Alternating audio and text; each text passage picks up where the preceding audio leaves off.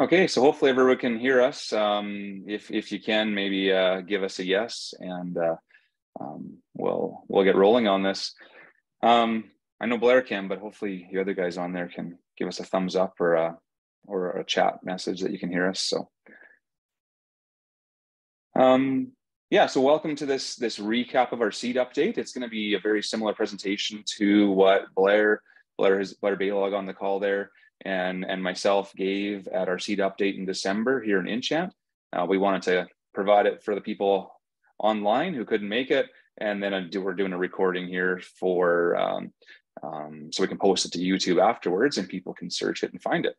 So um, basically, um, what I wanted to start off with was uh, Blair's going to start off with some forage trials, corn trials, uh, cover crops, things like that. And then we're going to switch into myself. Uh, I'm going to cover off just general seed varieties, uh, net return estimates, and uh, uh, just some ideas on what crops look attractive and, and just some options that way. So probably be about an hour and a half max is my thought. Um, but feel free to ask questions throughout. Uh, just unmute yourself and ask a question or type it in the chat, but we may not catch the chat questions quite fast uh, do alert me one way or the other if there is a, a question in the chat, Blair, and I'll alert you if I see one as well. And uh, yeah, we'll get rolling. So Blair, uh, Blair's new to us from this past spring and uh, brings a wealth of knowledge uh, from the corn world and uh, has has picked up and ran with all the other crops as well and, and really doing a great job on, on all the other sales as well. So uh, feel free to contact him with any questions you may have regarding seed sales. So, but Blair, I think I'll turn it over to you. And this is your screen already. So, yeah, it is. You're, yeah, you're thank you, go. Greg. I will get right into it here. So, um, so we'll be starting with what's new in corn varieties for uh, 2023. Uh, we have the pleasure of being Thunder Seed dealers for Southern Alberta. Uh, they're a great, great company to work with. They have a abundance of products that suit many different areas. So excited to see what's ahead with them. I'll be starting with uh, high, di high digestibility silage. Can't get that out right now, but uh, it was developed by Thunder to give uh, livestock a better ability to break down uh, forage more efficiently. Uh, kernels are soft and can be fractured, uh, easier than other varieties. Uh, you'll see in the next slide, I have some pictures of uh, some manure uh, showing this. Um, the ears are lower in the plant, uh, which allows for more plant above the ear to be digestible, um, which is great for if you want to graze corn as well. Um, but it still ensures good structure below the ear so that you don't have uh, green snap and lodging issues. So um, planting rates for these varieties, they can go as low as 27,000 seeds per acre and perform at a high level. So here's the two pictures kind of showing the comparison. On the left there, it's uh, Thunder 4076.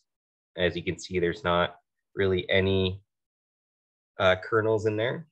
And then on the right, that's just another variety um, that has a lot of kernels that weren't broken down. So these were silage trials that we we were a part of this year in southern Alberta.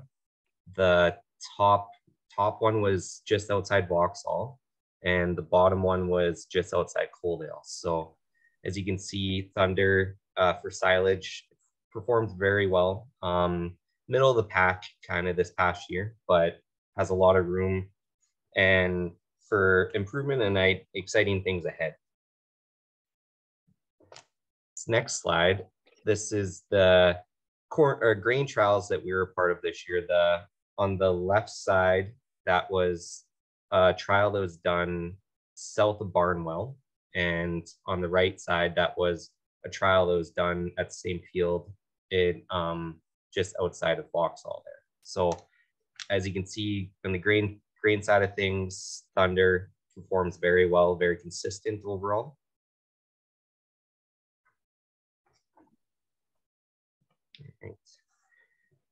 Now get into new products that were launched for the 2023 growing season. Um, the 6370 uh, VT Double Pro, it is the earliest silent or earliest hybrid in Thunder's catalog. It's 1925 corn heat units. It's great for the early, ultra early silage market. It has a fit for um, some areas in southern Alberta, um, but that's where we could kind of figure it out together if it would work for you. And then below that is 4386 uh, HDRR. That's one of the high digestibility products. It's a 2600 heat, uh, corn heat unit product. It has a nice fit for Southern Alberta. It's a very nice tall plant, and I'm excited to see the potential that comes from it.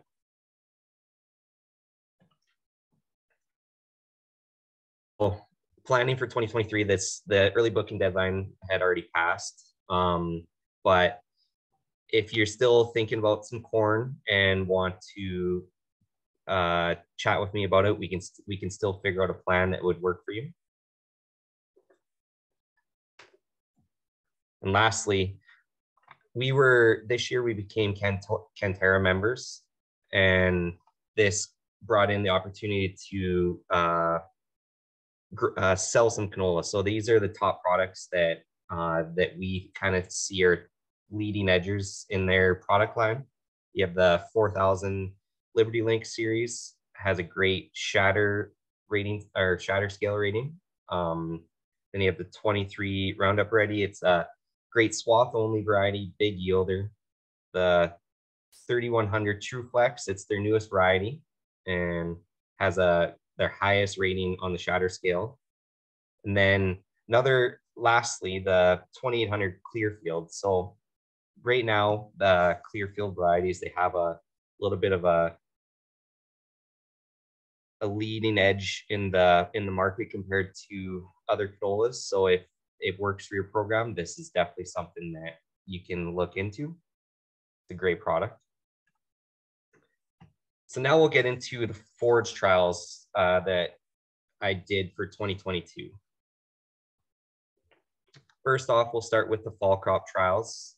I uh, it took the hybrid rye off at the boot stage, milk stage, and then also had an opportunity cut uh, for, at the second cut after the boot stage. We had some regrowth from watering and some opportunity or opportune rains. I also took the Tadius triticale and the winter wheat off at the soft dough stage. Tadius won the trial overall, and KW, KWS Serafino at the milk stage came in second.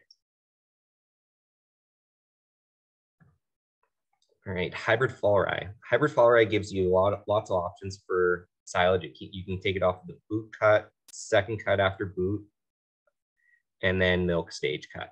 So that's second cut after boot. It you're generally looking around 60 to 70% regrowth. So if that's something that works for you, then it's definitely it's definitely an option. So Serafino is the best hybrid for dual purpose, great for forage, and excellent grain yield potential. Tadius Winter Triticale. So it's released this fall of 2023. Um, it's great for irrigation and areas with decent rain. It's got very good winter hardiness uh, and great tonnage potential, as you saw in that chart that was there before. This picture is just a field that's just west of our, our yard here. And excited to see uh, the potential that comes from it. These are the, the trials that I took for the barley and soft wheat products that we represent. Um, the uh, they're both taken off at the soft dough stage as well. And CDC Austenson, AB Tofield, and ESMO won the trials. They all kind of finished neck and neck right there. Um, for the soft wheats, they they finished identical. Um, and one thing I will say is we we have AC Sadash that was missed in this trial. So, but the oats in that in this trial they were not taken from a plot; they were taken from production field just to see the well, the potential that we could get from them. So something to keep in mind. And if you're looking for like another second crop option after hybrid fall rye, forage sorghum is a definite possibility. It's has a great forage potential and you can also graze it depending on if you got cattle and stuff like that. This pictures below this this was taken from a producer that tried this out just south of Barnwell area and it uh they were they were grazing it and I, I believe they were quite happy with it. So the second crop oats, it's always a great option to get as much tonnage off your off your field as possible after uh, doing a hybrid fall rye. So when double cropping oats, a forage oat is not needed as they are longer season and can be a risk for double cropping just for frost issues. But if you have any questions on that, we can definitely help you out. So cover crop funding through RDAR, this opened up this past August and it for now it's closed, but the window will open up again February 13th of 2023. Each farm is allocated a maximum of 75,000. So keep this in mind. It's definitely a great option if, if it can work with your rotations. Um, cover crop programs were created alongside to this it was created along two two others the rotational grazing and the 4r nitrogen management to expand farmers best management best management practices to help uh, with sustainability in agriculture. If you're planning to plant a fall crop and and plan to chop it in the coming year this this could be an option for you. So that is uh something that is accepted within the program and if you have any questions about what is and what is not accepted, I can help you out alongside that. So we, alongside with Imperial Seeds, we do a lot of different cover crop blends that can help soil health, uh, are great for grazing. It gives you a lot of different options that with uh, growing potentials. Um, but they also can be used for stability with erosion. So in Southern Alberta, we have wind erosion, which can really be an, a real issue, but there's there's a lot of options that you can get in in the fall if you have the time for it that can help keep your soil where it's at. So below is just a, a, a variety of different products that we can blend for you. Here's just another uh, slide on the wind erosion. So if you seed in late August, like you can see the pictures above there, uh, you can get like a radish that has a nice deep taproot that gives good stability. Um, other products like buckwheat and Phacelia, they and Italian ryegrass is actually a really good one as well. Um, if you mix those all together, it's something that could benefit you for going forward. So um, springtime in front of uh, specialty crops, lots are doing oats and barley. So if that's something that you haven't done in the past, then you can chat with us and we can get a plan together for you. And just new forage ideas uh, going forward. This uh, AAC Truman, it's a great product. Um, has really good drought resistance, um, deep deep rooted. So keep that in mind. Um, the Boost Alfalfa, it's uh, another great option. And then Catapult Timothy. So this is from Brett Young Seeds, and it's a, it's a top yielder, has aggressive growth, so um, could be good use for forage and or grazing if possible. But a lot of good options right there. And that's it. So if there's any other questions. Anyone need Blair to go back or or you guys are all all good over there? Otherwise I'll I'll share my screen and pull my presentation up. Okay. I yeah, stop.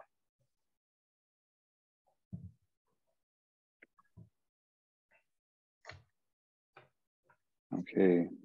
Is that looking all right, Blair? Yep, it's looking good. Okay.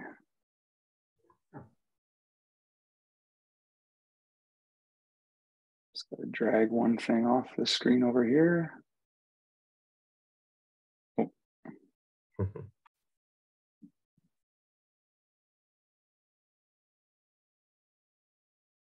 Ah, I think it'll be okay. Okay, so I'll get started talking about uh, what I've got. Uh, so I'm going to cover seed treating, inoculants, all the varieties, general our general varieties, um, and, and, a few upcoming varieties as well, and and then a few marketing options, some grain trials, and then uh, net returns by crop, just kind of how I see it based on some assumptions and guesses, and and then some new crop options and ideas that that I might have for you. So so we'll get rolling. I'm Greg Stamp, by the way, if uh, you're just joining. So. Um, basically, on the treating side of things, um, fungicides, insecticides, polymer coatings. The polymer coatings has kind of gone by the wayside because of some new inoculants that have a longer lifespan on the seed. So this uh, AGTIV, uh, there's a product that they've got uh, called uh, Fuel, I believe it is, and uh, they changed the name from what I have in this picture. And it's good for on seed, on pulses, peas, lentils, fabas for up to 30 days. Um, if it's warm out, you you uh, uh, actually my next slide has some of that information. I'll get to that next slide. Um, so we're actually in the process of building another seed treater. Matthew, my brother, is working on that so that we can actually double this treating speed of our general crops. For pulses, it might not be what we put through that machine, but it'd be more of a cereal machine. So twice the speed uh, of seed treating is the goal with that machine that he's working on, hoping to have rolling this spring. Um, trucking is a challenge this this year, as you probably know, but just trying to plan trucking in the springtime. Uh, you may want to get seed home sooner rather than later. Um, we have a company that we work with that can ship treated seed if you want to get treated seed home in your bin ready to roll. And I would do it sooner than later because of the challenges of lining up trucks, uh, just a lack of them. And the cost is more than last year. Um, and then treating, we can treat year round. Uh, we aim to do it above zero so you don't get any flaking off if that treatment freezes on the seed. Uh, but typically the grain in our bin is, is five, 10 degrees. So you, you're not treating really cold seed, but we aim for above zero. And you do get the rebates from the seed treatments. Um, as far as inoculant goes, yeah, 30 days on seed, no polymer needed, uh, typically cheaper than granular inoculant. So this is a single strain product it's so it's not a dual like there, there there's some other products out there, but this is good on seed. Um, if it's warmer than 20 degrees, you've only got 20 days on your truck until you get it in the ground. Um, if it's if it's cooler than 12 degrees, uh, if it's or if it's just 12 degrees or cooler, you've got you've got 30 days on seed before that inoculant loses uh, the, the viability or enough of them on the seed. And uh, yeah, we can treat uh, on demand in the springtime, as you can see here. And lentil rates is even cheaper than pea rates. You need less inoculant on the lentils, and it's per acre, not per bushel, which is different. That's kind of unique to this product. So, so it's uh, so we kind of need to know how many acres you're covering with the seed you're picking up as well. So as far as wheats go, uh, in the midge tolerant lineup, now in Southern Alberta, we don't really have a midge issue. Uh, there's an, basically maybe Brooks area had had something maybe 10, 15 years ago, but really it's not a, an issue here. But people are just growing these varieties and we're growing them just because they're good varieties. So the midge varieties have come a long ways and and are some of the top varieties in the marketplace. So so basically ones that we have available are leroy uh, it, it's it's sold well last year uh, good disease package yields well uh, we've got adamant uh, oh i have a mistake there adamant vb um, it's uh, a solid stem for sawfly so if you're on dry land you may want to consider this for the best hard red on dry land when you need a sawfly protection. Um, it wasn't in our trial, but that's available if you need it. Um, Wheatland VB, uh, that one has been probably one of our best sellers in the last few years. And it's just a consistent variety and stands well. And uh, intermediate for Fusarium and rust, so it's it's okay for that. Um, something like Hodge would be kind of the next step. It's brand new, and it's a little better for those disease that disease package and Hodge was the highest yielding hard red spring wheat or CWRS ever registered in Western Canada. So it's it's quite the variety. Now, standability, I would say Hodge is kind of like Brandon. It's it's not perfect. It's not going to be as good as the Wheatland or the Hockley, but it's uh, it's an excellent variety. Um, lots of our dryland customers go in that route or areas where you need the varietal blend for the midge protection. Uh, irrigation, definitely. I've got a few customers that have booked for irrigation, but uh, it, you know, a PGR is probably recommended on that one on irrigation, uh, just because uh, it's not quite uh, not quite as good as the Wheatland or Hockley. And then as far as the non-midge tolerant hard red spring wheats, uh, um, the PT 5003, that's not available right now. That comes out next year. So look for that next year for an early maturing, good standing variety. Kind of looks like Brandon for standability. Uh, the Hockley, that's brand new this year. It's been selling quite well. Um, you know, potentially higher yields versus Viewfield. Um, high protein, good fusarium package with low DON uh, infection when you if there's a fusarium risk year. Uh, it's a longer season, so, uh, but stands excellent. So for irrigation, that's that's been a, a good go-to along with that wheatland.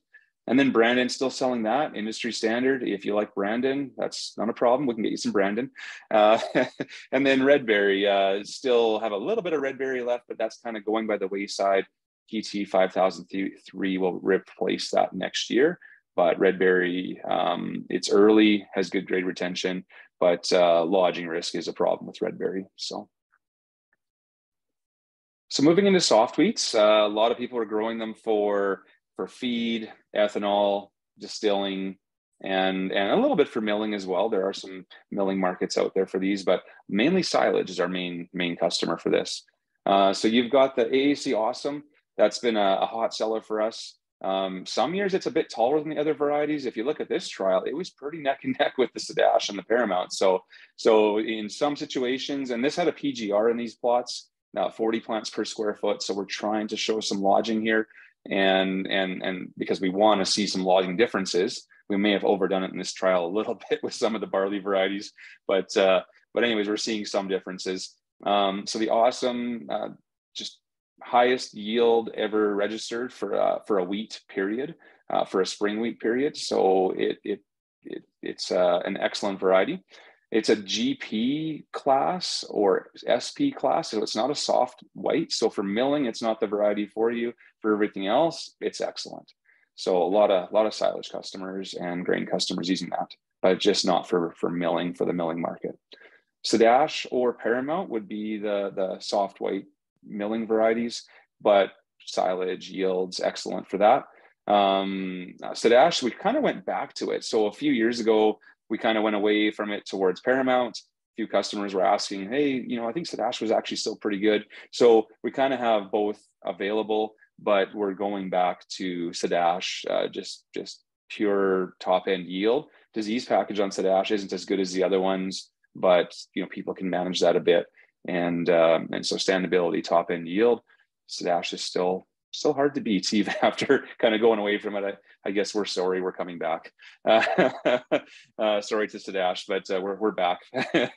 um, when you do your crop insurance, if you don't grow soft wheats or GP soft wheats, um, if you pick up the awesome and you're used to growing Paramount or Sadash, uh, keep in mind for with AFSC, it's a different class. So make sure you elect to grow those classes of wheats that you may not have grown in the past. So keep that in mind.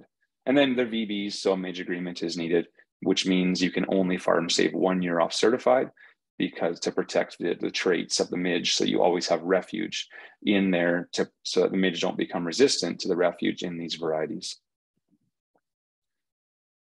So on durums, we've got a few midge tolerant ones and, and a few not. Um, so Succeed VB, that's been kind of one of my favorites on irrigation over the years, just because of standability, um, uh, early. It's as much as five or more days earlier than some of these durum varieties. So you're going to get that through the combine faster. Um, we've grown it on dry land as well and had good results with it on dry land, but it's a big seed size variety. So so when you look at the the seeding rates, it's like, oh yeah, you, you need to keep the seeding rate up on that one just because the seed size is 20% bigger than than the next durum variety. It's kind of crazy that way. Um, these are all MS for Fusarium, so that's that's uh, um, good. Um, we've got Stronghold stands really well also and seems to perform well on irrigation. Just that that ramps up for that top end yield potential with moisture, PGRs, and and uh, uh, high populations. Uh, for dryland, though, it's been successful because of the solid stem for sawflies. So if you need a sawfly variety, that's a good option. Uh, Donlow, um, it's a hollow stem, so it doesn't have that sawfly protection, but it's got an excellent uh, disease package for Fusarium. So we've been going with Donlow where, you know, there has been years where there's been bad Fusarium years. Uh, it hasn't been the last five or so, but prior to that, it was kind of a disaster for a few years for Fusarium. So um, something to keep in mind to spread your risk uh, might be a good option with, with the Donlow. Uh, Weyburn is new this year. We're making that one available to customers uh, by bringing some in if need be. Uh, it's a solid stem for sawfly. It's got the VB for midge, so it's kind of got it all. A little more lodging pressure. So if you're going to do it on irrigation, watch your plant populations. Don't get too high and, and use a PGR for sure. Or in dryland, you'd be fine on dryland with that variety. So so Weyburn's a good option. And then Goldnet, uh, we sold a lot of that Goldnet last year. Uh, it's a hollow stem, so dryland, watch for that. A little bit of lodging and irrigation, as you can see there. Um, so watch that as well. And then just an S rating for Fusarium head blight. So not quite as good as the other varieties, uh, but maybe you're not in a, a high risk area. It, it's okay for you there. Uh, we also had Vanta in the trial. It's not available in the marketplace yet. It, it did well or it did it did it didn't do as well as the rest, but I've seen it do excellent in other trials. So I think we might give it one more year, see how it fares. Uh, bacterial blight seemed to be a little bit more of a challenge on that variety, but I don't know if it's the variety itself. It it could be just the seed lot. So that's one concern uh, that I think we're just going to try it one more time and, and see how it looks because it's really really short stature and a little long season though. It was very long in our trial as well.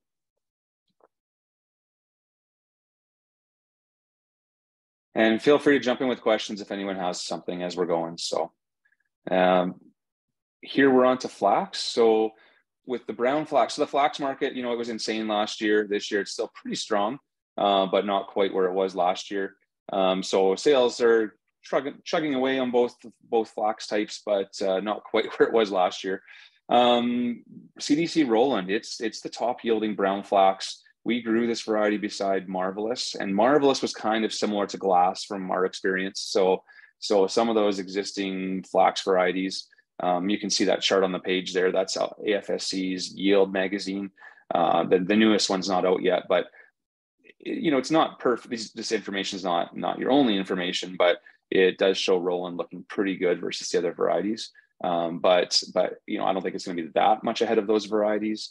Um, when we grew it side by side, it was maybe five percent advantage versus versus marvelous, but that's quite a jump. You don't see that kind of yield gains in flax varieties very often because the flax you know doesn't get a lot of breeding put into flax either. So those yield gains that we saw with roland was was amazing. Now it's a very long season so watch for that. It's longer than most other flax varieties but it's it's the variety to grow in my opinion uh, when it comes to yellow flax, Dorado has been around for a few years and it's always performed really well. Seems to do even better under higher moisture or irrigation. Uh, it's on the early side and, and yield potential is close, very close to the browns. I was surprised how good it was compared to the browns. So uh, sometimes that market has some premiums.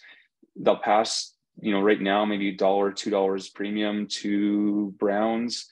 Um, you know, a year ago it was five dollars or more, but I don't think we'll see quite that stretch uh, in, in the near term. But uh, it's got high ALA oil content, and a few buyers are looking for that type of oil content. So we can connect you to a buyer looking to contract yellow if you would like to try some. And then seed treatment. So I don't know if you're going to make uh, you know more money by treating your flax for sure. That's it's not a it's not a hard sell on the treatment here. Uh, a few a lot of customers do go with the Insure Pulse uh, on flax. Um, it's uh, not a water-based treatment; it's a glycol-based treatment, so you don't get that gumming up. So the flax still flows quite nicely. It's uh, um, yeah, we're using it on our flax. Um, maybe it gets that flax a little bit faster, a little more even out of the ground, maybe a little more fast, past the flowering. Um, maybe you can get a few more plants to survive versus without treatment. But it's uh, to me, I haven't seen a ton of data in Alberta that shows it's a clear yes to treat flax. But I'll probably almost 25% of our customers are are doing the, the treatment on the flax. But it's a little slower to treat, so and we need more time to clean it out. So if you do want treated flax, uh, do give us a warning or give us a get it booked so that we know your pickup will take a little longer versus uh, just shipping it bare.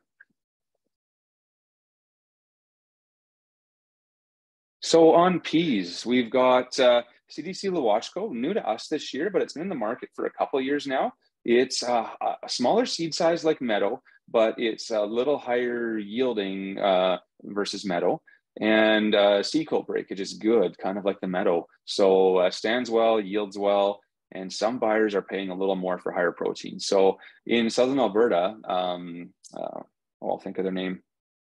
Oh, what's the Oh, at Wilson Siding, the the pulse was LA Grain. Uh, so the LA Grain facility at Wilson Siding, Alberta Pulse Traders, they were paying. Uh, they're looking to do a program and contract this variety right now. So if you need information, I can connect you with them. But uh, uh, if you know of LA Grain at Wilson Siding, there they're they're wanting to buy Lewochko and contract it right now for next year. So talk to them. Uh, otherwise, you can grow it, just grow the variety and try and sell it for a premium with higher higher um, protein.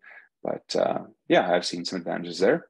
Uh, for pure top end yield under irrigation, Chrome is hard to beat. Um, where you've got medium season, medium moisture to good moisture, uh, it's phenomenal. Or you catch a rain mid-season, I've seen it double the yield of other pea varieties on dry land. But if you don't catch that mid-season rain, then it's not quite as good as an early season. So you could, you know, win or lose with something like that on dry land. But if you're medium moisture to good, it's hard to beat. Uh, but seed coat breakage is a challenge with it. So that is one negative to the variety. But uh, just I mean, yield does pay the bills. So uh, that's that's one interesting thing with that variety.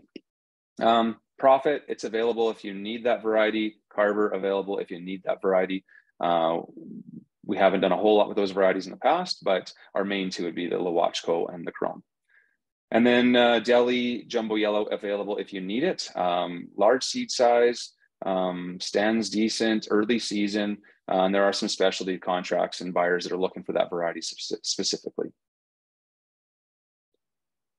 Um, up and coming in that world. Uh, there's I'm, I've got a new variety called Julius. It's a couple of years out, and uh, so you can't buy it this coming fall. It's the next fall. So we're two years out from the Julius, so or a year and a half, unfortunately, because it looks very good. Uh, other pulses, we've got the forage pea DL lacrosse. So if you want to blend that with oats or or things like that, it's quite early. It would be a replacement or an option versus the for, the older 4010s. It's a white flower though, so it looks different in the field. It's a little more vertical in the field versus the 4010. It'd be a little more horizontal and, and viney. The lacrosse is a little more vertical and looks almost like a normal pea, but it is a great forage pea. Um, maple peas, if you need a maple pea, that market is hot we are sourcing maple pea varieties for people. We were doing uh, some maple peas in the past, but what we found was buyers were very specific on what they wanted, and it's like we never had the right variety, you know. So so basically, there's three or four or five maple pea varieties out there. If you have a buyer looking to do some, we can source some seed for you. Um, green peas, forest, uh, good yield, strong seed coat. If you want to get in some greens, we can make some available for you. Um, greens hit and miss. Uh, you know, last few years it hasn't been that popular. Uh, now green green price is a little better than yellow again. So that's usually how it goes over the years. And then chickpeas. If you need chickpea, Palmer is a little better disease package versus some of the existing chickpeas. So uh, that's a good option for you if you want to try some chickpea. Lentils. Um, I love this lentil chart on the right. This one is what we've seen kind of from customers as far as yield potential but it's still amazing to me how many people are still growing Maxim red lentil. It was a great variety, but if you look at every single year, you could be making 50 to 90 dollars per acre more by buying proclaim variety. So I just phenomenal. I mean, maybe people just don't know how good the other varieties are, but it's uh yeah, every single year you'll be making more money by growing proclaims. And uh, and then Simi is the new up and coming variety. So we've got Simi available as well. it's going to be similar to, I think, a little better than Proclaim. So probably half our sales are Simi, half are Proclaim this year. Uh, we'll see how it compares to Proclaim. Um, you know, similar to slight yield advantage over Proclaim, but very similar plant look to Maxim. Proclaim was also similar, but Simi's even more so. And then green lentil, if you need a green, you know, worth more money, a little more cost to grow. Um, so like a lentil, like a red lentil is like half the cost to grow a pea per acre when you factor in seeding rates, treatments, and inoculants. You're, you're half the price or less to grow a lentil versus a pea. So that can lower your risk a little bit.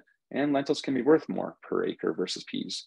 Uh, and then the green lentils, higher seeding rate versus reds. So kind of a, you know, a 1.5 times the rate, a little more cost to the seed as well but that market class is worth more right now as well. So, but maybe a little more risk with downgrading if you get rains in the fall or, or things like that. The reds are a little more foolproof versus the greens. So, more risk, more reward. That's how it goes.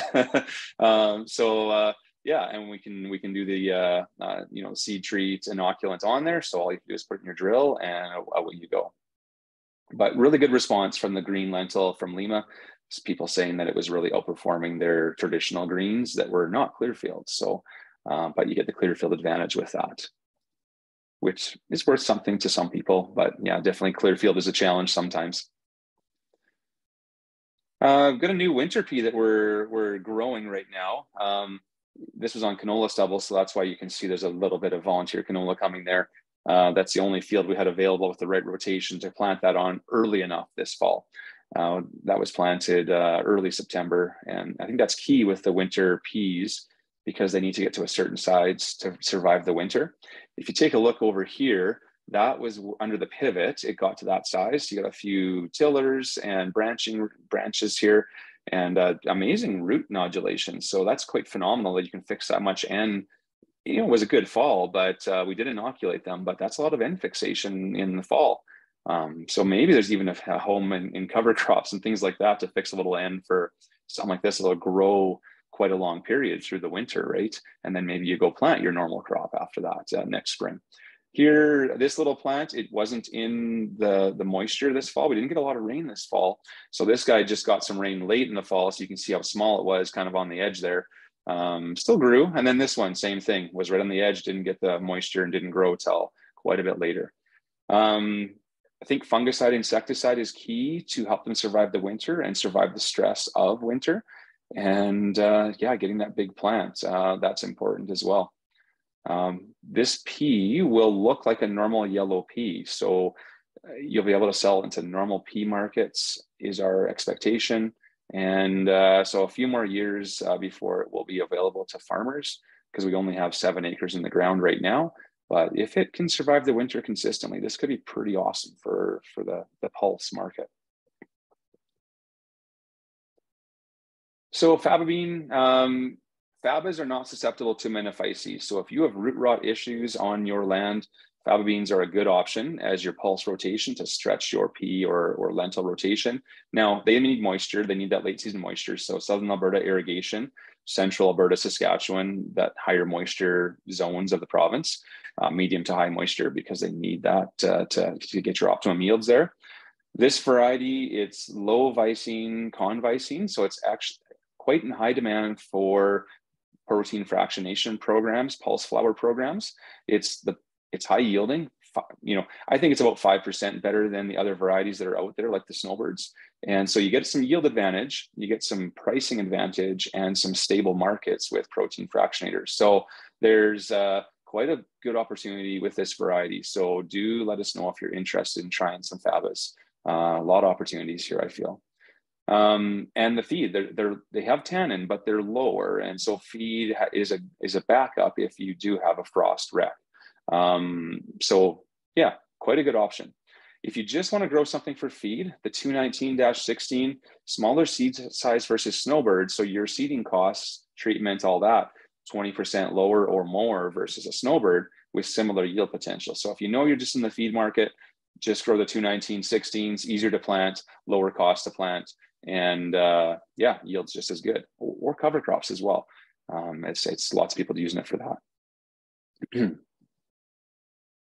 Uh, so winter wheat, uh, you know, we're not that far away from winter wheat sales season, are we, Blair? uh, we had we had someone Blair had someone book some uh, Serafino hybrid rye just the other day, actually. So it's uh, you can book seed whenever whenever you like. We didn't have a price for him, but uh, um, you can get on the on the list for some of these varieties. um, with wildfire, that's kind of your industry standard. Um, you know, good winter hardiness, good yields. Uh, it's long season, like a very long season. So that's the only downside with that, really. Uh, and then a little bit of powdery mildew on irrigation shows up once in a while with this variety. So uh, a late fungicide sometimes is required on irrigation. So watch for that. Uh, network is another newer option, a little shorter stature, um, high protein, good winter survival, and a good rust package. Um, and kind of, I think that will replace both of these varieties is the cold front. That'll be available not this fall, but I think the following fall. So uh, you can't buy it this year, but the next year you'll be able to. And cold front looks phenomenal. Uh, higher yield than both of these, better standability versus the wildfire. Um, it's got radiant and its genetics. Everyone loved radiant. North Star, some dryland people really loved the North Star. So it's got some real unique genetics, and I think it's going to be a phenomenal variety for everywhere. kind of a, a, Western Canada variety that's kind of got it all. So really excited about that variety. Rob Graf, the breeder that's in that picture there, is really pumped about it. So. And then the hybrid rise. Um, we've got another awesome yield trial in the ground this year to test some forage yields and some grain yields of some new hybrid rye varieties and and the, the Tadius fall triticale and our winter wheats. So real excited for that. Um, but you know, why would you want to grow hybrid rye? Well, better lodging resistance versus other ryes. Um, it would have uh, uh, higher yield potential versus traditional rye, and uh, as much as 20 to 40 percent yield advantage, which is phenomenal. Uh, can be lower risk versus some others as well.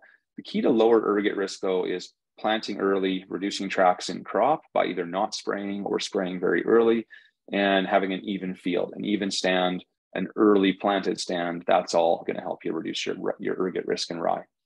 Um, the feed increase that's that's been increasing. Um, typically, it sells at a slight discount to say winter wheat or other feed crops, but even with that, the yield potential is so much higher, especially in dry conditions. But even on irrigation, the yield potential is such more than winter wheat or other feed crops that you can take a little bit less on the dollar value and still be netting more money in your pocket at the end of the day growing a hybrid fall rye even for feed.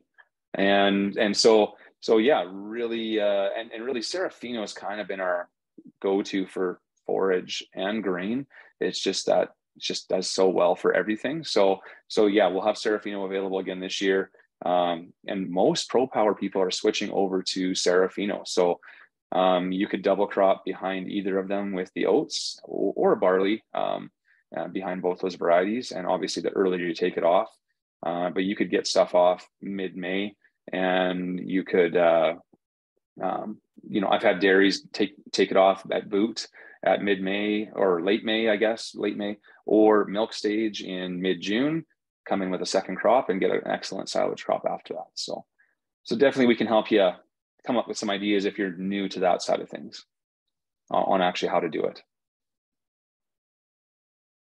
And the winter triticale, we've been selling some Metzger. Uh, it's got some height, so probably best on dryland. Uh, the Tadius, um, I think it may do okay on dry land, but we don't really know yet. Um, it's from Europe, and in Europe they said you know it had some good drought tolerance, but I don't know if European drought tolerance is the same as Southern Alberta drought tolerance. So we'll we'll see. I'm sure there'll be a few customers that'll want to try it on on dryland, and we'll get some good information from them. But currently, ours is on irrigation, so we won't have a whole lot of information for you drought resistance wise. Um, it's a European variety, uh, certified seed use only, targeting that forage market. Uh, it's got very large seed size, so uh, seeding rates might be a little higher but it's a phenomenal, unique looking crop. I'm so excited. I already have a booking for this from this like this fall from September. I didn't have a price for him, but but I, but he said I, I know I want some, so put me down for for this many bushels. And I said you betcha I will, because uh, we can start selling this summer. So um, amazing grain yields. Uh, it was phenomenal. Um, it's excellent standability. Um, yeah, low fusarium risk, and there is a high sprouting risk with it. But I mean, that's not the goal with this variety. So, so not a not a big uh, issue other than for guys like us who are growing the seed. Um, you know, we don't want to sprout before it hits your soil. So we'll we'll watch for that.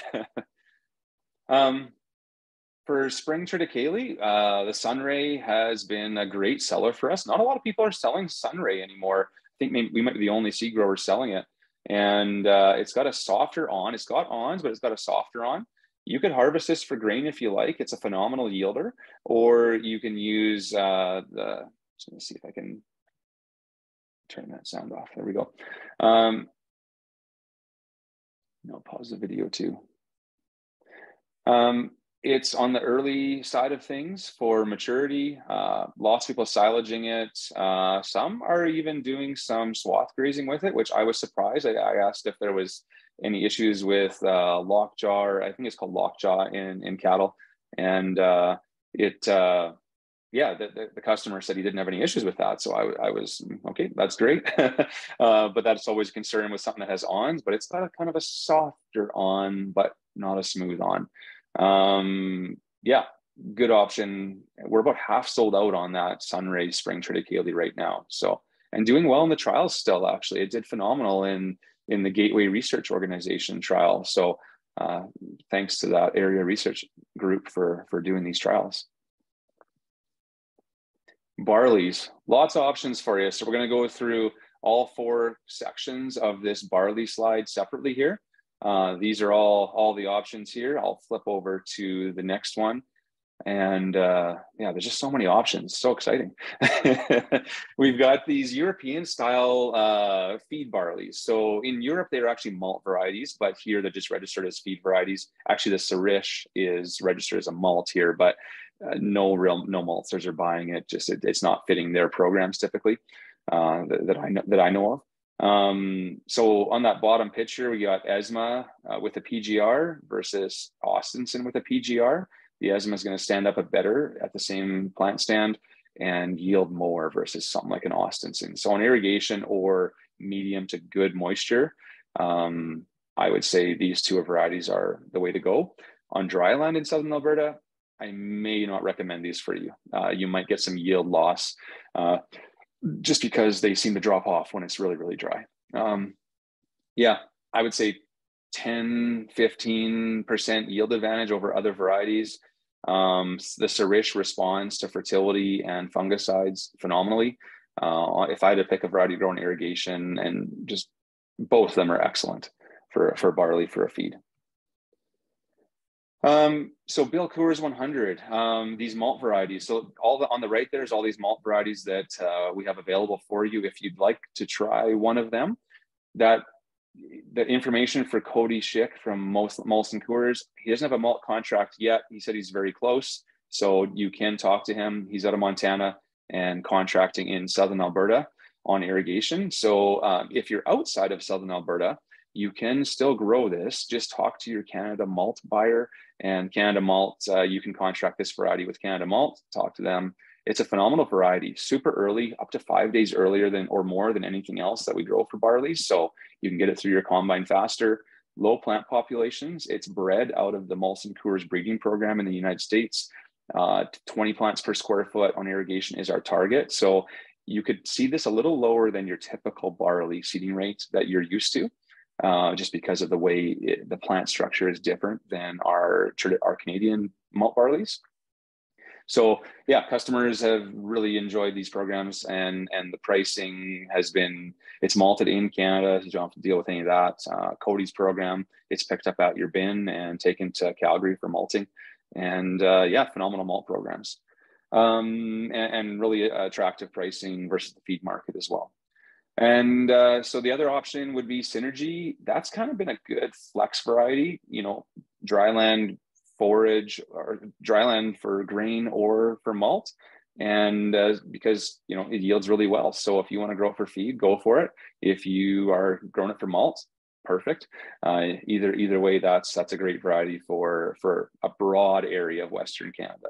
And some people on irrigation are growing it, but definitely some lodging risk there with that one on irrigation.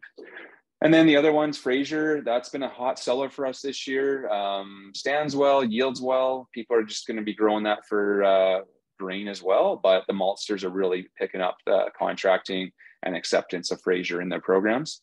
And then up and coming is Churchill um, that, that did well in our trials this year. And we also would have Connect available for you as well if, if you do need that variety. So um, yeah, lots of great options in the malt world and, and also flex options that yield as good as, as the, the feed varieties. Now on to feed varieties, that some of the traditional ones. Um, AB Hague is a new one. It, it was showing some drought resistance uh, on some dryland. We, we some of the reps we're talking about uh, from FP Genetics, um, you know, yield advantage over Austenson. I think there's a little bit of that as well, and some lodging risk on irrigation. But Austenson also has that on irrigation. And for silage, it was performing quite well in some of the silage trials. You know, take it for what it is. Those trials maybe aren't aren't perfect, but uh, yeah, some some advantage with it in the silage market. And then Austenson, as usual, uh, Canmore is available if you really like that variety. Um, and then next year, 2023, we'll be launching Renegade. So fall, you know, next fall, we can start selling this Renegade variety. It's going to yield kind of like Austenson, um, standability, I think, is a little on the weak side. So perfect for dryland irrigation, maybe not perfect, uh, but it's a smooth awn. So you can you can use it like a Maverick. It would replace Maverick, higher grain yield versus Maverick, and and forage yields are excellent for it as well with that smooth awn. And, and great disease package. That MR for Fusarium, that's great. Uh, same MR for smuts. Um, so yeah, a little tall versus Austenson still, but uh, that's going to be a hot variety this fall when we start selling that one, that Renegade. And then the six row smooth awns. Uh, we've dealt with all these varieties here over the past few years. Um, I think I got the wrong picture in there actually though, but I'll have to change that out. Um, Tofield, that's our new one. It's the shortest stature of these six rows. Um, stands the best from what we've seen and and great grain yields as well if you just want to go for grain. But for forage yields where you need a smooth awn, Tofield's kind of the one to go to at, at this point. Uh, still, still lots of interest in Cadillac, Advantage, great varieties. Uh, but Tofield's kind of our, our new up and coming variety. A little weak on the Fusarium head blight uh, side of things, uh, all of these, but um, great forage varieties or grain if you really like to grow six row for grain. Just keep in mind six rows are lower bushel weight when it does get dry. Uh, so dry land for grain is a kind of a no-no in southern Alberta for sure. Uh, as far as oats, um, we've got the Arborg oats. Um, that one's been a good, good hit in our lineup. Uh, great for milling, uh, good for forage, good for double cropping. It's kind of that all well-rounded variety. It's not super short, but it does stand quite well. Uh, stands similar to Camden. Uh, Camden's available if you really want that one. Um, and then, like Blair said, uh, when you're double cropping, we've got uh, we're recommending shorter season varieties. Typically, the double croppers don't care about the quality as much. It's typically going into a silage pit, so the quality is not as big of a deal. Where the haymaker, you don't need the quality of a haymaker forage oat. You just need to get that tonnage. Um, then we would recommend a shorter season variety like an Arborg versus a haymaker for that double cropping, just because you can get it in the pit faster with more tonnage when the quality is not as important. If you need the quality, go for the haymaker, that's fine. We've got haymaker available as well. Hard white spring wheat. Uh, so we're we're uh, making so this, so this this program. So we're working with Rogers Foods. If you want to grow some cirrus, so cirrus will be the main one this year actually that Rogers Foods will be contracting. Uh, I think we're going to grow some more iceberg. We're we're low on supply, so there's actually no I don't think I can sell any iceberg actually to you right now. Uh, all we need all of it for our own multiplication because it's uh, registered status actually. Um, but the cirrus, so Rogers Foods, um, it sounds like they're going to have a pretty decent contracting program this year. Um, the varieties stand quite well. They yield. They look kind of like you know hard reds in the field, but it's it's a more niche program, uh, niche market. And if you want to get connected with them to see what their contracts are all about, We've got Cirrus seed available and, and limited supply. We don't have that much actually, but Rogers Foods, uh, I know, was wanting to get some acres in the ground of that Cirrus, and they're out of BC and they do some milling and uh, good guys to work with. So So please uh, talk to us about that. Mustards, we are sold out of the hybrids, the AAC Brown uh, 18 and the AAC Yellow 80. Phenomenal varieties, but we're sold out. I'm sorry. it's been a hot mustard year. Um, so if, if you, I've got the, uh, well, I don't have the other, uh, oh yeah, I do have that.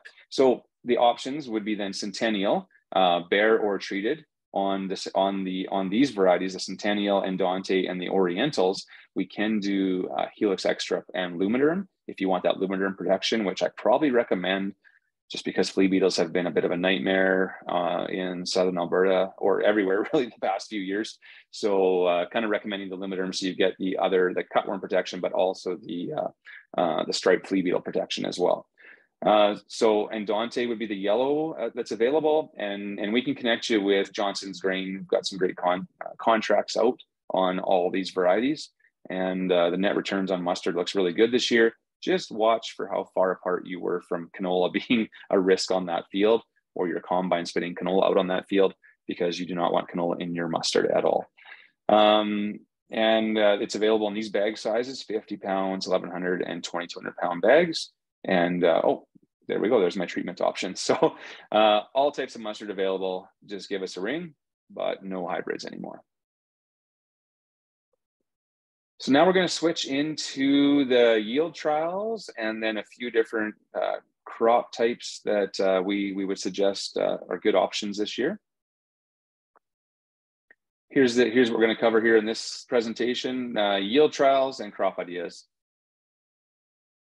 When it comes to the trials, um, this field had high fertility and it was faba bean stubble. So I don't think I'd put quite as much fertility on, especially not on the barleys. We saw lodging showing up, you know, in the wheats. It was okay. We saw some differences in the barleys. We almost saw too much.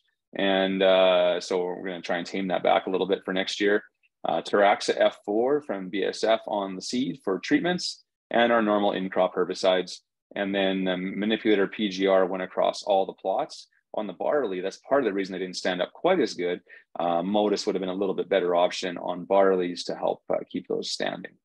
Um, and uh, we applied a, a, fungicide for Fusarium at, at, at heading on all of these. Now, of course, every variety was a little different stage. So it kind of, the average of the plot got hit. So every variety got a little different timing on that Fusarium spray just because of maturity differences and going across with the sprayer. Here's our barley plots. Looks fun, doesn't it? uh, what we found on on the barleys was, uh, uh, you know, the highest yields were the ESMA Sirish, uh, those European style ones. The Bill Coors did excellent as far as the other non-European style varieties. Um, we've seen that Bill Coors with yields up to one, you know, 130 to 150 bushel range, but I think those European ones are going to be in the same range as well. So good yields there. And the Tofield did quite well also. Now, lodging was a problem in these plots. So if you see some varieties that are lower, maybe they had more lodging risk, and uh, that was part of it. I was surprised how well Churchill did in the plots, and we didn't have any Fraser in here. I think next year we're going to put Fraser in the plots as well. So uh, still building the plan for that. So variety wise, those European ones great, and uh, the Bill Coors was was was pretty good over there as well. On durum, you can see uh, the the two the gold nets and the Weyburn a little more lodging pressure there. Oh, um, oh, I'm going to go through a few pictures because all of the uh, these are on the same chart. Your soft wheats, uh, the awesome, maybe a hair more lodging than the other two, but Sadash looks to be the best here. Uh, 40 plants per, so on the barleys, we were 30 plants per square foot target. On the cereal, the, the, the wheats, durums and soft wheats and hard reds, we were at 40 plants per square foot. So, so that's a high, high plant population. And then the PGR and uh, still standing pretty good. But my goal with these plots was let's get as high a yield potential as possible while keeping it standing. And how do they perform and compare under that, that, that real aggressive program? And here's our hard red spring wheats. Uh, you can see that wheatland and that Hockley standing very well. And, uh, you know, Brandon actually not too bad, but the other varieties kind of comparable to it, I would say. So as far as top end yield, the soft wheats are, are good there in the middle in, in the browns. Uh, uh, Sadash was was a little better than the, the rest. Uh, and then the awesome is beside it there. And in the, the hard reds, pretty tight pack actually for yields, but the wheatland uh, kind of the tops there, but very close behind would be the Hockley Hodge.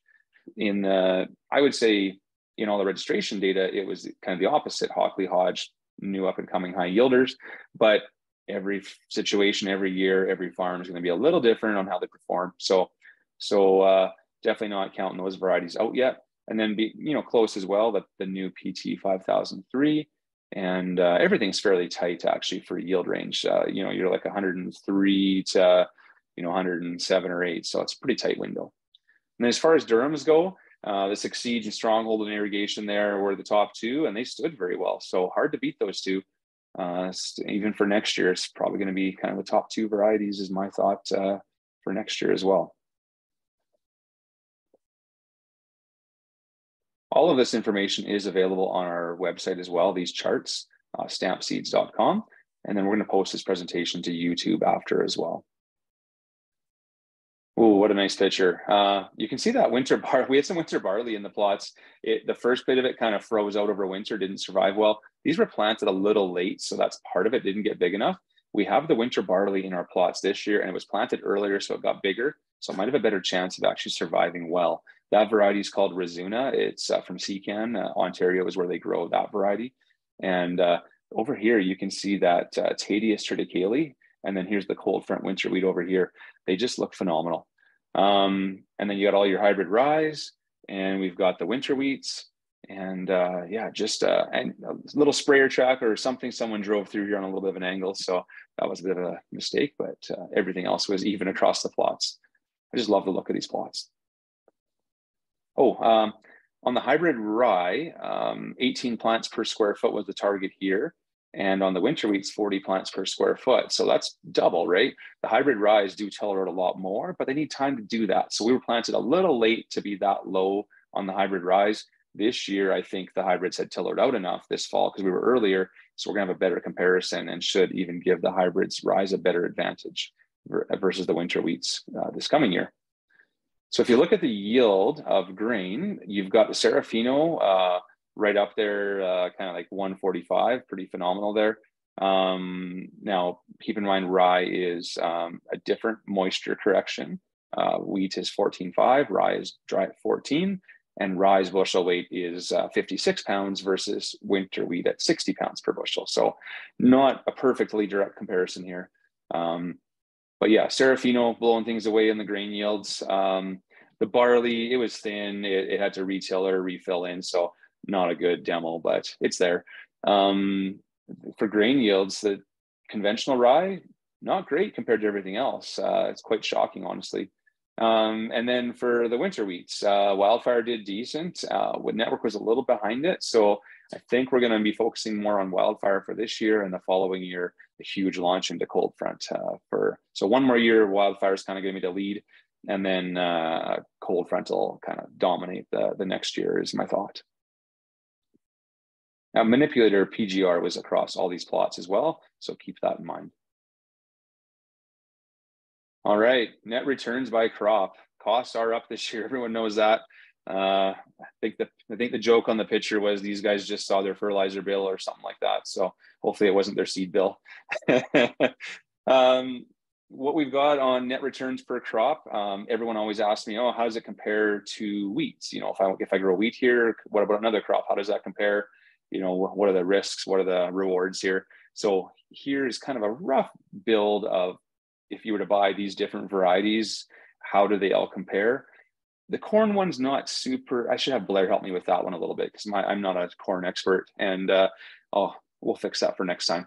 Because um, I don't think I have that one quite perfect. But but anyways, cost per acre, you know, we're you know everyone's costs are going to be on irrigation are going to be 90 100 bucks an acre more than it was last year it's crazy, right? Um, but you know, if you do a, a wheat versus so so costs on a wheat, like say you're 342 bucks an acre on inputs, plus any of your land rent, machinery, you know, your your infrastructure costs and and and profits. It's uh, you know you're you get a lot of cost per acre on irrigation. Now compare that wheat uh, 340 versus say uh, you know a, a faba bean or a pea you know, you're quite a bit cheaper to grow a pulse crop this year because of that nitrogen price. Um, so something to think about. But what the net return is all that really matters. Uh, you know, that's that's the important part. Um, if you look at faba beans, if if we can find some $14 faba bean contracts again this year, um, you know, even at 85 bushels, which I think is is pretty conservative for faba beans on irrigation uh, for this variety. Uh, you know, you're looking pretty good versus net. I reduced the residual nitrogen back uh, to lower it down a little bit because I had a little bit high in the past, I thought, and because uh, we don't really account too much for that residual nitrogen in our next year's cropping plans. Um, we just expect a better crop the next year, higher proteins, things like that. Uh, but yeah, it looks like uh, um, you know, it looks like you've got uh, that you know good percentage ahead of wheat with the with the pulse with faba beans. Peas at 11 bucks doesn't look that hot, honestly. Our pea sales haven't been that strong, and maybe that's why. Uh, but you know, who knows where pea prices will be next year? I'm making a lot of guesses here on prices and yields. Um, you know, maple peas look okay. Uh, pretty niche market though. Uh, lentils and irrigation, I don't know if I would do it. I'd rather grow a fab on on, on a high moisture situation. Um, but lentils can be okay and then the the feed products or or you know the, the fall crops the hybrid rye uh, gp wheats they all look pretty good because the feed markets are still pretty strong. Uh, durum looks okay. More risk to grow durum versus a hard red though so keep that in mind. Um, oats are back down. Barley's still pretty strong even at eight bucks at 140 bushels so don't rule barley out on irrigation. Um, and i and i think you could contract malt barley for more than that on irrigation uh, for more than eight bucks for a new crop. That's my thought. Um, canola at 65 bushels, it's okay at $17. You know, you're still still doing okay there. Uh, the Clearfield canolas, if you get some additional dollars out of those guys, even if they yield 10 bushels less, you're still doing pretty good actually. Uh, so that's something to think about uh, on the Clearfield side of things. Flax, hmm, good rotation crop maybe this year. the, the dollar value there at 20 bucks is not quite where it should be at 45 bushels in my mind. Uh, so maybe we'll see a big correction in flax acres this year. And then corn, uh, I got eight dollars for corn. Well, I, I, know guys are getting more than uh, farmers are getting more than eight dollars right now for corn, and 160, pretty conservative yield, I think, uh, for a, for a good field. So so maybe you can make yeah. So actually, corn probably is going to do better than than. Uh, but you know, I'm thinking new crop. You know, what's corn going to be next fall? Okay, maybe it's eight bucks. Maybe you bank on 160, and if you get more, you're you're you're laughing. But but yeah, 120 percent of hard red spring wheat it's possible there.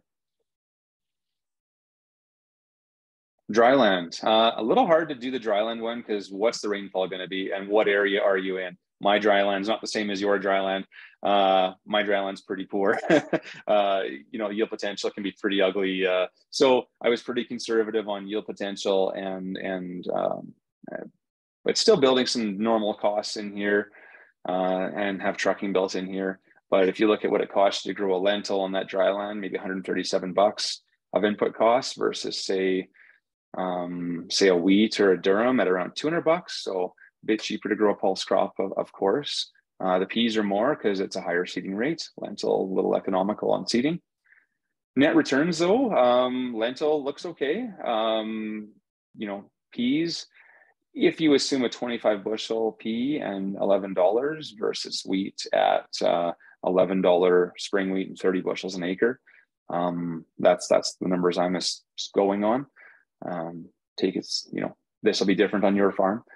Uh, Durum looks okay on dryland. Uh, the hybrid rye actually, because they do perform well even with drought, uh, looks phenomenal on dryland. Um, that's the way it was last year. Uh, people were making more money on on with the hybrid rye versus winter wheat last year on net returns, uh, is what my customers were telling us. And then barley uh, looks okay if you think you can get 45 bushels at $8 barley new crop. Um, and uh, yeah, canolas look maybe okay. Um, mustard, phenomenal. Maybe that's why mustard sales are so strong. We may, you know, but there are some still some good new crop contracts out there right now. So you can get 10 bushels an acre signed up at at a pretty good price. So, you know, that that may be worth your while to look at if you've got a field suitable for mustard uh, you know, very clean and uh, no canola history recently. All right, I like the hat. I need one of those. uh, thoughts on 2023. Um, so pulse crops, the pulse crops look a lot better this year. Uh, we were able to clean everything off the combine and, and do a lot better on on seed coat. Well, it wasn't as dry, so seed coat breakage isn't as bad of a deal. Um, but we're we're doing a lot off the combine. Our seed cleaning plant with Matthew there starts uh, and his team starts um, basically as soon as our combines start. Our seed cleaning plant runs non-stop till Christmas, and then on from there. Um, one idea for flax: if you've got gopher problems, the gophers don't like flax. Um, if you have some wild oat issues, watch for that though. You may need to use some Avadex to keep those wild oats under control. Uh, if you got some dandelions or thistles though, the, the, the, weed control for that is not bad in flax actually with the Curtail M. Uh, on irrigation where you want some additional standability, if you stump the crop with two shots of Buctril M or a Curtail Buctril, you can get a little better standability out of that crop. And then you've got that authority for the broadleaf weed suppression. So you know flax flax growing has become a little easier over the past few years because of authority mainly um, peas talked about that dollar premium in some higher protein pea varieties so uh, and new varieties are trending smaller in seed size so as we go forward we're seeing seed coat breakage being watched a little closer by breeders and, and seed growers as well and functionality of the varieties that's probably the next step for fractionation So for malt varieties, uh, waiting on Cody, uh, we can connect you with him if you didn't get the info. Um, I think that's still a great option because the the yields, the earliness of this variety, and uh, lower N. So you know, if you're on irrigation, a lot of people follow sugar beets because there's lower nitrogen there typically. Um, but it's nice because you can get your combines in the field faster. We're able to straight cut it. Uh, it, it, was doing okay for that.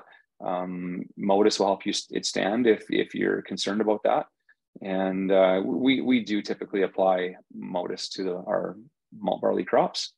And but with malts, you got to watch your your germ, your purity, uh, with you know say volunteer wheat in it or things like that, and and chitting. Um, and it's a longer shipping window, but you could price quite a bit of your crop right now uh, with an active God contract with uh, with Molson Coors. So um, it's worth looking at, I think.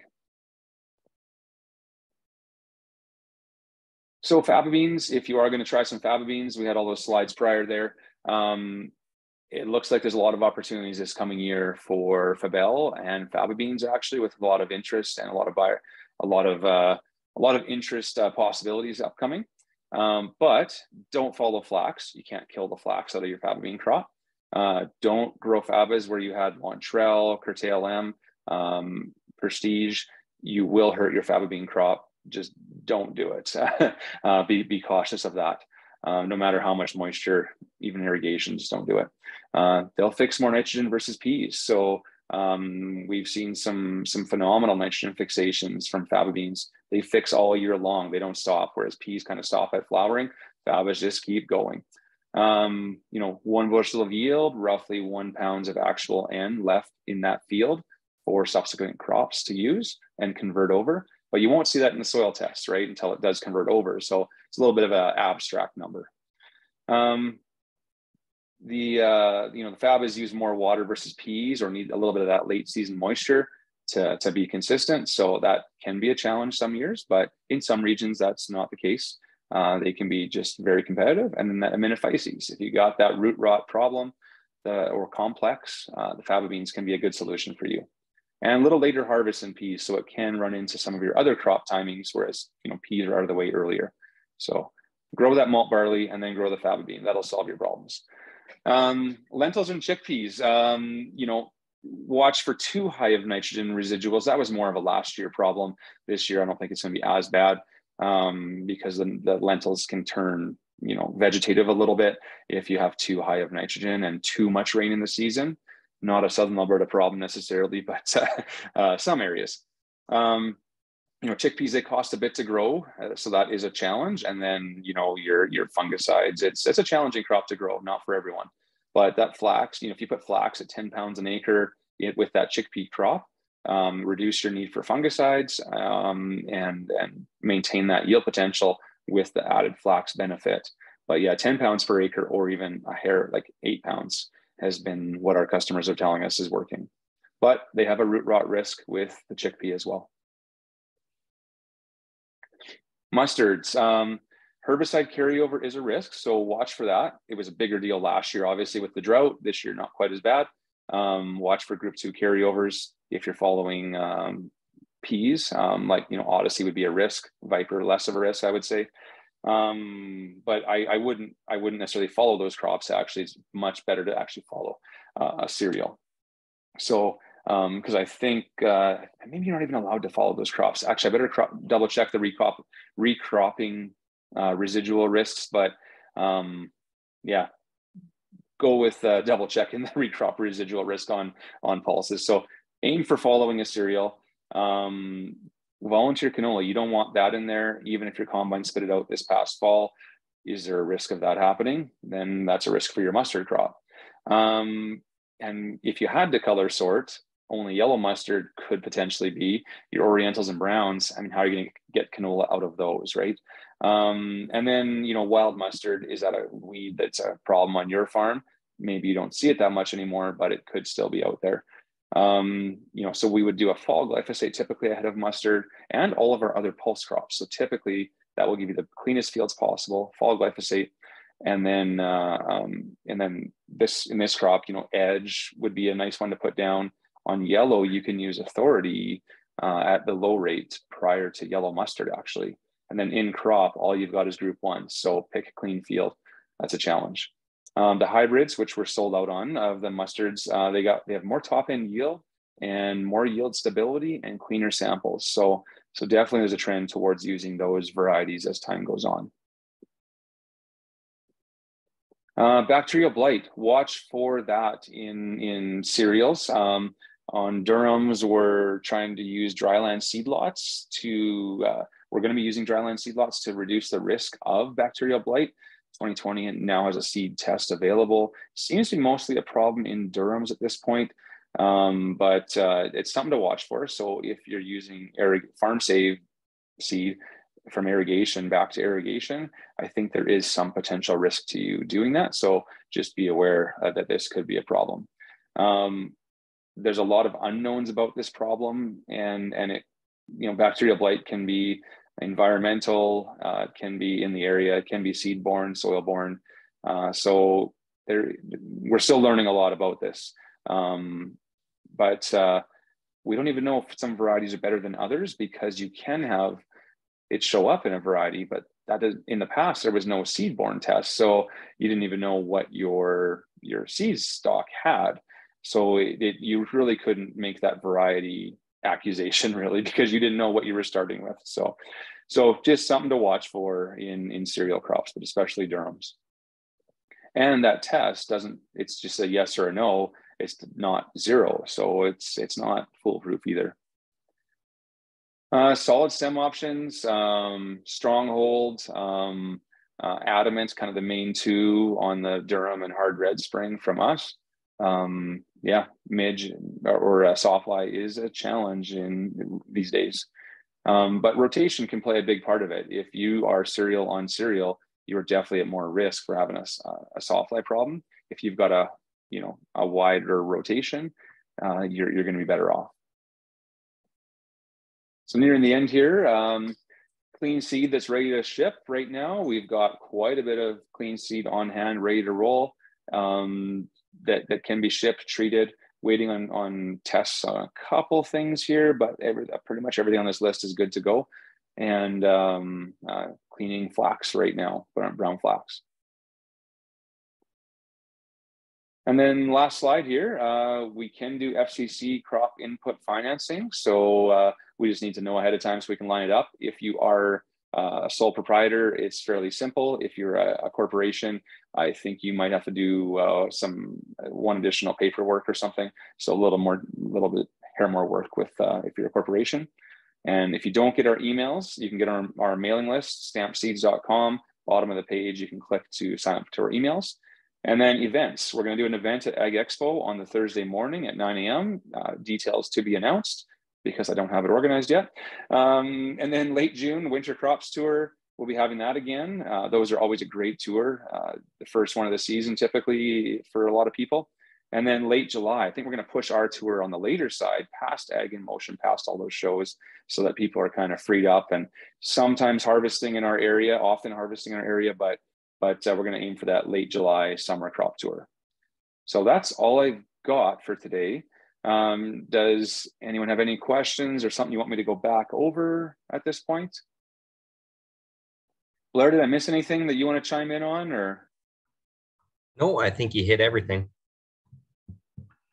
Okay, well, if if no one else has uh, other questions, was there any questions in the chat, Blair, or can you see that? There, there wasn't at this time, no. Okay, okay. Well, if no one has anything else, uh, this will be posted to YouTube, so you can share with your friends. I'm going to get it posted hopefully later today, and um, and uh, yeah, for more information, contact one of us, and uh, go to stampseeds.com for any information you may be looking for. So with that, I think I'll uh, stop the recording and uh, stop the sharing. So thanks very much for joining us for the meeting, and uh, we'll go from there. Thank you.